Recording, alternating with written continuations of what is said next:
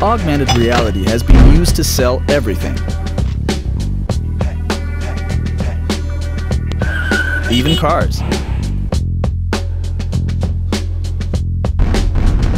But when it comes to prices, augmenting isn't the best solution. So to let car enthusiasts know about the promotional price of the new 2010 Toyota Corolla,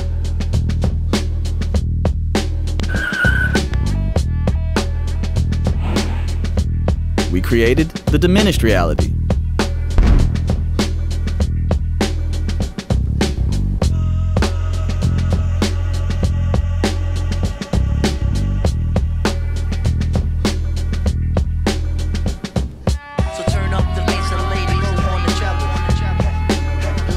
When the ad is targeted to the webcam, the price decreases.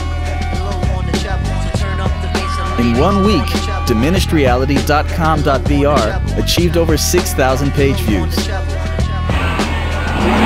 Toyota Corolla sales increased 37% compared to the previous weekend.